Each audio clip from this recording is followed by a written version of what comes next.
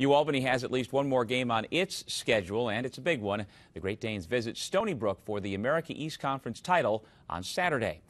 UAlbany hosted the tournament quarterfinals and semis at SEFCU Arena, where they worked out this afternoon, but the final game is played at the home of the highest remaining seed.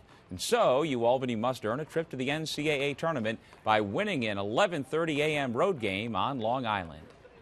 We sold them all week on weekend that we were the defending champions and we still are the defending champions until somebody takes that from us. And you know, we've got another game to prove that uh, you know uh, we can defend that title. You know, we don't want it to end. You know, me and uh, all the other seniors, we all want to go out with a bang, and and that's our mindset now. A lot of people doubted us, but uh, it gave us that. We use that to ignite this, and and we're excited to prove everybody wrong.